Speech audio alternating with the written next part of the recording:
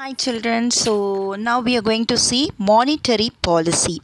So monetary policy we discussed in the uh, previous lesson which fully deals with the money process. Okay. So now let us see monetary policy. So monetary policy is the macroeconomic policy. Okay. So this is a long term process. So we tell it as a macroeconomic policy which studies uh, the aggregate economy. Okay so this is uh, this being laid by down by the central bank okay towards the management of money supply and rate of interest okay. Uh, so it fully deals with the money supply and the rate of interest.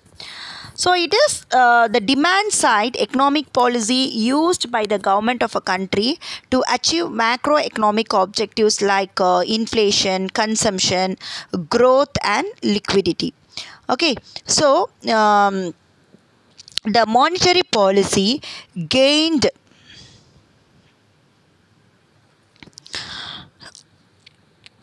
gained uh, its significance after the world war ii so uh, this um, importance அதாவது monetary policy பக்கம் வந்து importance எப்போ தோணுச்சு அப்படின்னு பார்த்தீங்கன்னா world war டூக்கு அப்புறம். Because we all know okay tenth ஸ்டாண்டர்டில் பார்த்துருப்பீங்க வேர்ல்டு வார் நடந்ததுக்கப்புறம் uh, நம்மளோட பொருளா பொருளாதார வீழ்ச்சி வந்து ரொம்ப அதிகம் ஓகேவா ஸோ அதனால் வந்து என்ன ஆச்சு அப்படின்னு பார்த்தீங்கன்னா நம்ம எல்லாருமே வந்து பணத்துக்கு வந்து அதாவது வெல்த்துக்கு ரொம்ப ப்ரிஃபரன்ஸ் கொடுக்க வேண்டிய சூழ்நிலை இருந்தோம். அதனால தான் ஆடம் ஸ்மித் கூட அவரோட டெஃபினேஷனில் வந்து அவர் வந்து ரொம்ப ஸ்ட்ரெஸ்ஸாக அதாவது ரொம்ப வந்து பின் பாயிண்ட் பண்ணி சொல்லியிருப்பார். வெல்த்து தான் வந்து வேணும் அப்படின்ற மாதிரி. ஓகேவா ஸோ இப்போவே வந்து இந்த இந்த சுச்சுவேஷனே எடுத்துக்கோங்களேன். இப்போ வந்து என்னென்னு பார்த்தீங்கன்னா வி ஆல் நோ இந்த கோவிட்னால வந்து ஒரு பக்கம் வந்து நம்மளை எல்லாத்தையும் ப்ரொடெக்ட் பண்ணும் அப்படின்றதுக்காக கவர்மெண்ட் வந்து லாக்டவுன் எல்லாமே போட்டால் என்ன ஆகுது? நம்மளோட பொருளாதாரம் பாதிக்கப்படுது. நிறைய பேர் வந்து மணி இல்லாமல் கஷ்டப்படுறாங்க. ஸோ வெல்த் வைஸ் அஃபெக்ட் ஆகுறாங்க.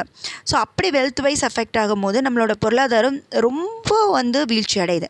ஸோ அதனால தான் வந்து என்ன பண்ணிட்டாங்க அப்படின்னா இப்போ கொஞ்சம் கொஞ்சமாக ரிலீஸ் பண்ண ஆரம்பித்தாங்க ஸோ அதே மாதிரி வேர்ல்டு வார் டூ பீரியட்லையும் அப்படின்னு பார்த்தீங்கன்னா ரொம்ப வந்து it was after the world war two everybody lost every thing there was a big huge loss so அதனால் வந்து they gave preference to the money money so thanks to the initiation so இதோட initiation யார் அப்படின்னு பார்த்தீங்கன்னா Milton Friedman so you can see this person here So he associated uh, the doctrine of monetarism and he received the Nobel Prize in 1976. He boldly announced in his book Monetary History of the United States in 1867 to 1960 that the Great Depression of 1930 was largely the outcome of the bungling monetary policy. So அந்த ஒரு great depression second world வாரில் நடந்ததுனால தான் இப்போது monetary பாலிசிஸ்க்கு we are giving so many preference and we are increasing the economy அப்படின்றத சொல்லியிருக்காரு so next letter see monetary policy எக்ஸ்ப் எக்ஸ்பான்ஷரி contractionary அப்படின்னு ரெண்டு இருக்குது okay so let us see what is expansionary policy and contractionary the expansionary policy is cheap money policy so this is one of your important one word interior one word when a monetary poli- authority uses its tools to stimulate the economy an expansionary policy maintains short term interest rates. இந்த இடத்துல என்னன்னு பார்த்தீங்கன்னா short term interest rates வந்து ரொம்ப uh, lower லெவலில் வந்து they'll be using okay so are increase the total supply of money so என்னென்னா ஒன்று அவங்க வந்து சப்ளை அதாவது வந்து வட்டியை வந்து குறைச்சிட்டு சப்ளை ஆஃப் மணியை வந்து இன்க்ரீஸ் பண்ணுவாங்க. அதுதான் வந்து cheap money policy so it is traditionally use to try to come compact unemployment by lowering interest rates so எதுக்காக அப்படின்னா அன்எம்ப்ளாய்மெண்ட் ப்ராப்ளமை தவிர்க்கிறதுக்காக they use this lowering interest rates okay so this increase aggregate demand for the overall demand for all the goods and service in economy which boost short term growth as measured by the gross domestic product so இந்த மாதிரி short term interest கொடுக்கறதுனால என்ன ஆகுது அப்படின்னு பார்த்தீங்கன்னா கம்மியான ரேட்டில் so நிறைய ஷார்ட் டேர்ம் க்ரோத் அதாவது நிறையா நம்ம வந்து என்ன பண்ணலாம்? நிறைய பிஸ்னஸ் வந்து இன்க்ரீஸ் பண்ணலாம். சின்ன சின்ன பிஸ்னஸை இன்க்ரீஸ் பண்ணும்போது பொருளாதாரம் ஆட்டோமேட்டிக்காக இன்க்ரீஸ் ஆகுது. த கான்ட்ராக்ஷனரி மானிட்டரி பாலிசி அப்படின்னு பார்க்கும்போது டீர் மணி பாலிசி அப்படின்றது என்ன இதுவும் வந்து maintain short term interest rate ஆனால் எனது ஹையர் தென் யூஷுவல் ஓகேவா அது வந்து எனது லோவர் தென் யூஷுவல் இது வந்து எனது higher then usual are which slows the rate of growth அங்கே வந்து என்னென்னு பார்த்தோம்? இன்க்ரீசஸ் அப்படின்னு பார்த்தோம். இது வந்து ரேட் ஆஃப் க்ரோத்தை வந்து ஸ்லோ பண்ணுது. ஓகேவா இல்லை அப்படின்னா ஷ்ரிங்க்ஸ் மூழ்கிற அளவுக்கு பண்ணுது. So this slows short term economic growth and lessens inflation so இது என்ன அப்படின்னா கான்ட்ராக்ஷன் மானிசரி பாலிசி வந்து அன்எம்ப்ளாய்மெண்ட்டை வந்து இன்க்ரீஸ் பண்ணும். அதே மாதிரி depressed borrowing and spending by consumers and business which can eventually risen in an economic recession also okay so implementally vigorously இதை ரொம்ப இம்ப்ளிமெண்ட் பண்ணோம்னா there will be so many problems அப்படின்னு சொல்கிறாங்க so the two phases of monetary policies என்னென்னு பார்த்தீங்கன்னா inflation recession so inflation அப்படின்னு போடும்போது borrowing easy consumers by இது இது இன்ஃப்ளேஷனை வந்து சீப் மணி பாலிசின்னு சொல்கிறோம் ரெசஷனை வந்து டீர் மணி பாலிசி அப்படின்னு சொல்கிறோம் ஓகேவா ஸோ இந்த மானிட்டரி பாலிசியோட ஆப்ஜெக்டிவ்ஸ் எதனால் மானிட்டரி பாலிசி இதோட குறிக்கோள் என்னன்னு பார்த்தீங்கன்னா டெவலப்டு எக்கனாமிஸ் ஓகேவா எக்கனாமிஸ் நிறைய எக்கனாமிஸை வந்து டெவலப் பண்ணுது. To serve the function of stabilisation and maintain proper equilibrium in the economic system in case of underdeveloped countries the monetary policy has to more has to be more dynamic.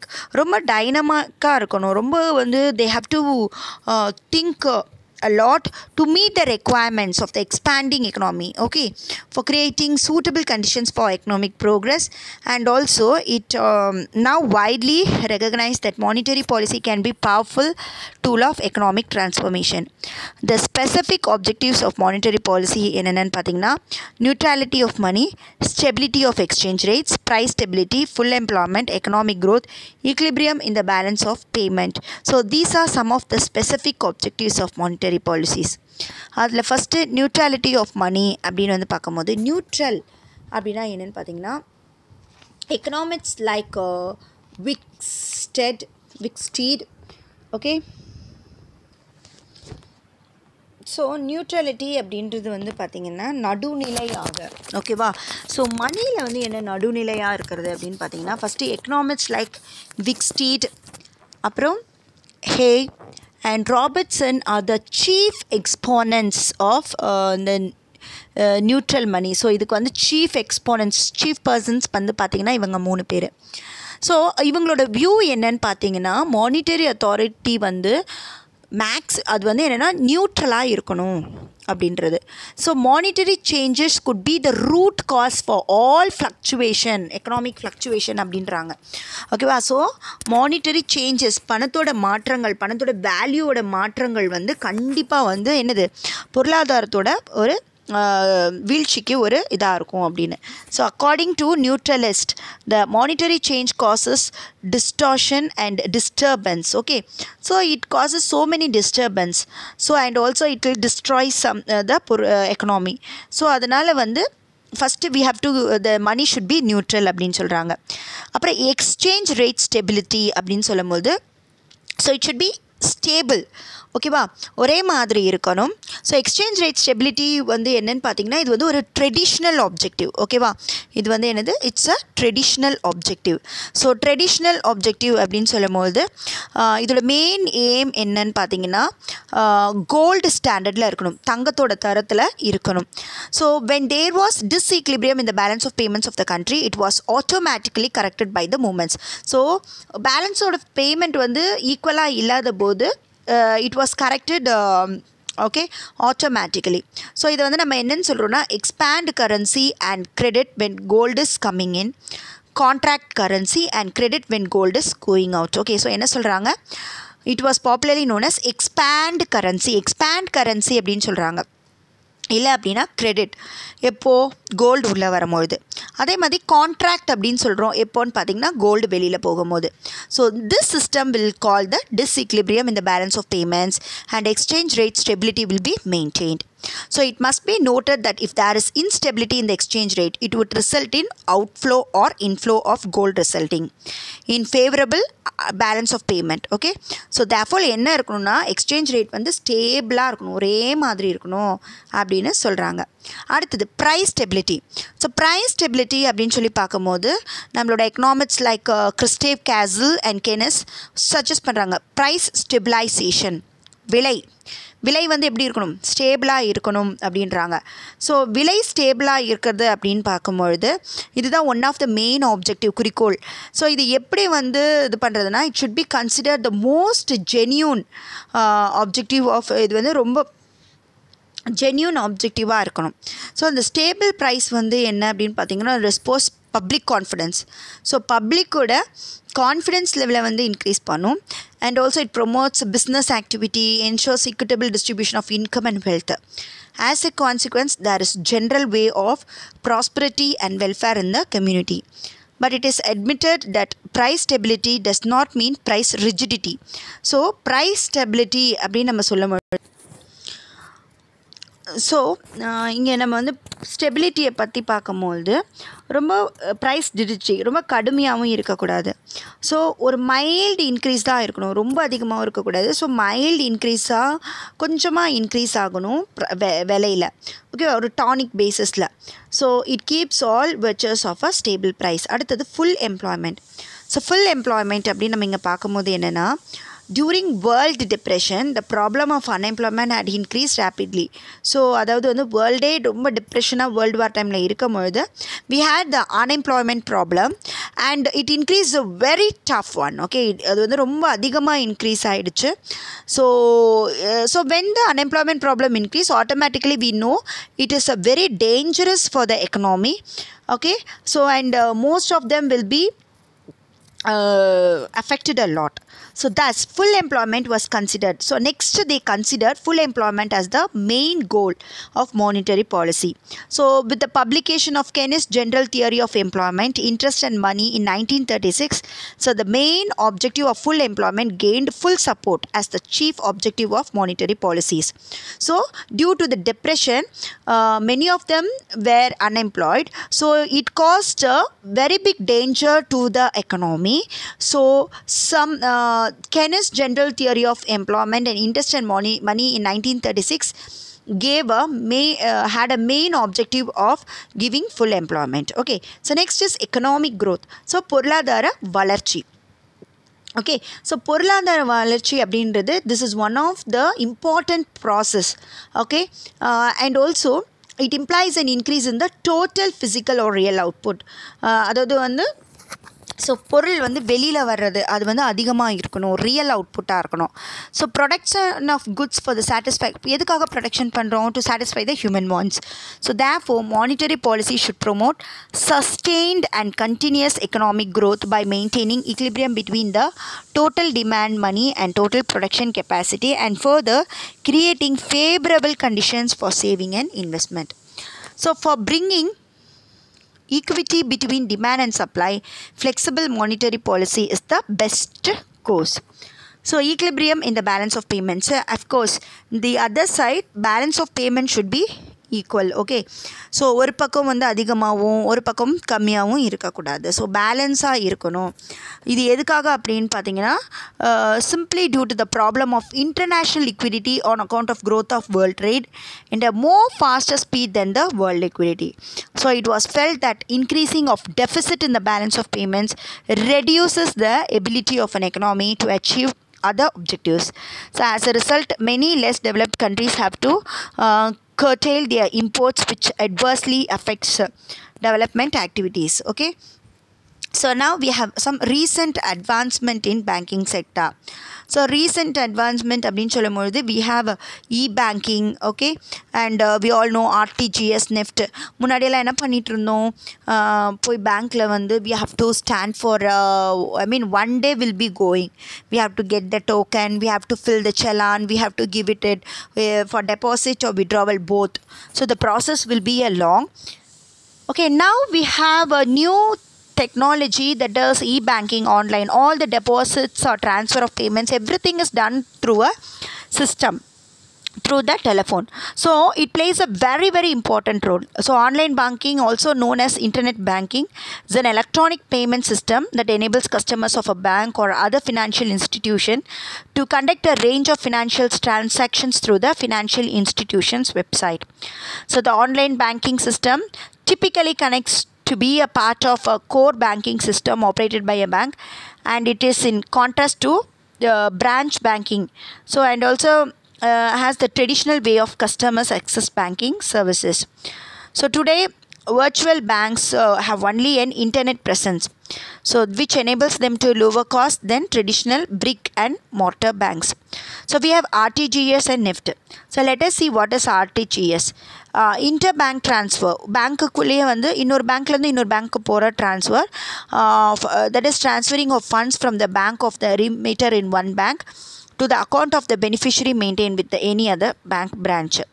There are two systems of interbank transfer ஒன்று வந்து என்ன ஆர்டிஜிசி இன்னொன்று வந்து NEFT both these systems are maintained by RBI any uh, this neft operates in half uh, uh, half hourly batches.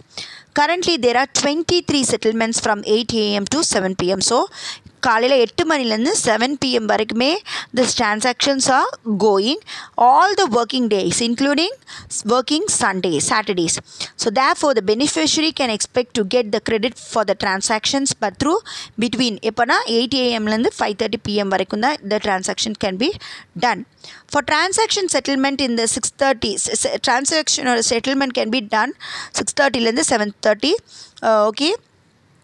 On all working badges including working saturdays.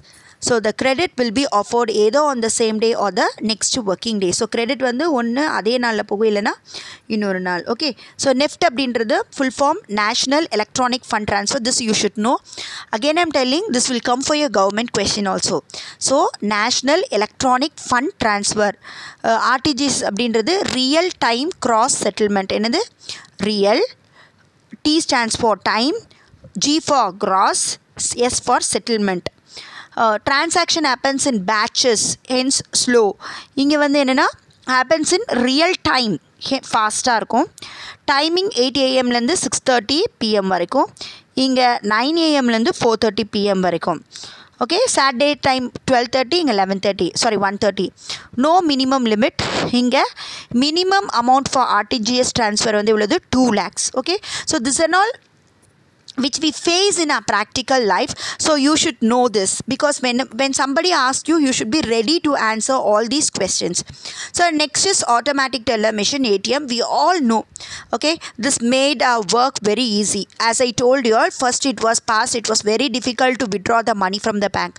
Now a simple card makes that is a we can tell it as a plastic money uh, thing also okay. So taking that a small card going to the bank uh, just putting that card in that uh, particular machine okay how much ever amount we want we can take it from the saving account okay so it plays a very very important role okay so next is Paytm Paytm also இப்போலாம் என்ன சொல்கிறாங்க Paytm இது எப்படி அழகாக வந்து என்னது ரொம்ப ஈஸியான ஒர்க் இன்னும் கூட வந்து ரொம்ப easy so payment payments bank இதை நம்ம வந்து என்ன சொல்கிறோம்னா பேமெண்ட்ஸ் பேங்க் ஸோ இது வந்து in August two thousand fifteen Paytm received a licence from RBI so this also should get the R licence from RBI to launch a payment bank so the Paytm payments is a separate entity in which founder Vijay Vijaya Shekhar Sharma will hold 51% of share. Okay, 197 co- communication holds 39% and 10% will be held by the subsidiary of 197 and Sharma. Okay, so next is debit and credit card. So debit and credit card also you know okay and we are holding it we are having it whenever we want amount we can withdraw even we can purchase uh, the goods okay we can swipe the credit cards and after that we can pay the payments that is before uh, one month is getting over next is recent issues recent issues என்னென்ன அப்படின்னு பார்த்தீங்கன்னா Once the borrower fails to make interest or principal payments for 90 days, the loan is considered to be non performing asset. So, non-performing asset are pro- problematic for financial institution since they depend on interest payments for income. As on now, the size of NPA is estimated to be around 10 lakh crores. As a result, the banks do not have adequate capital. Hence, the government is forced to infuse capital to the banks by using poor taxpayers' money. So already more than a sum of 2 lakh crores have been injected. So during 2018 to 19, the GOI has infused 68,000 crores into banking system. So it uh, um, affects the common people also. So merger of bank அப்படின்றது வந்து என்னன்னு பார்த்தீங்கன்னா so இன்னொரு ஒரு பேங்க்கோட இன்னொரு bank merge பண்ணுறது okay this is being taking part nowadays so union cabinet decided to merge all the remaining five associated banks of State group with State Bank of India in 2017.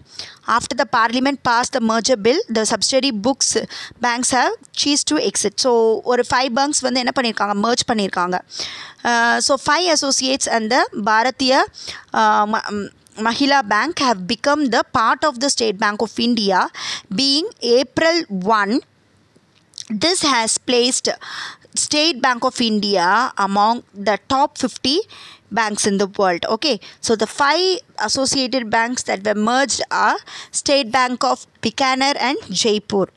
Uh, we can say state bank of hyderabad mysore patiala travangur the other two associate banks namely state Mm, bank of indore and state bank of uh, saurashtra had already been merged. ஏற்கனவே வந்து merge ஆகிடுச்சு so the total customer base of SBI என்னன்னு பார்த்தீங்கன்னா thirty seven crore with a branch network of around twenty four thousand and around எவ்வளோ sixty thousand ATM across the country so இவ்வளோ வந்து இதோட percentages அதே.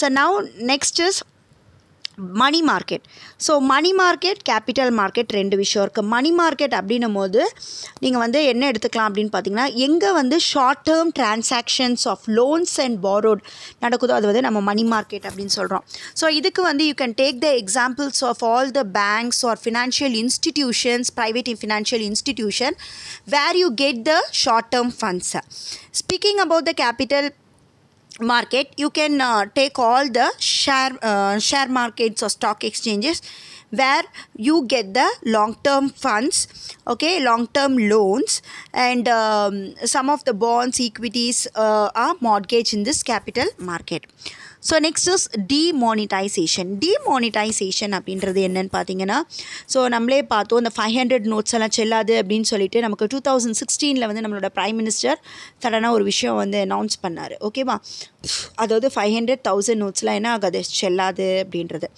எதுக்காக அப்படின்னு பார்த்தீங்கன்னா இந்த பிளாக் மணி கரப்ஷன் இதெல்லாம் வந்து ஒழிக்கிறதுக்காக வந்து இந்த டிமானிட்டைசேஷனை வந்து இம்ப்ளிமெண்ட் பண்ணார். ஸோ இதில் வந்து இதோட மெயின் ஆப்ஜெக்டிவ் என்னென்னா பிளாக் மணியை ரிமூவ் பண்ணணும். கரப்ஷன்ஸ் இருக்கக்கூடாது. டெரரிஸ்ட் கிட்ட இருந்த ஃபண்ட்ஸை ஸ்டாப் பண்ணணும்.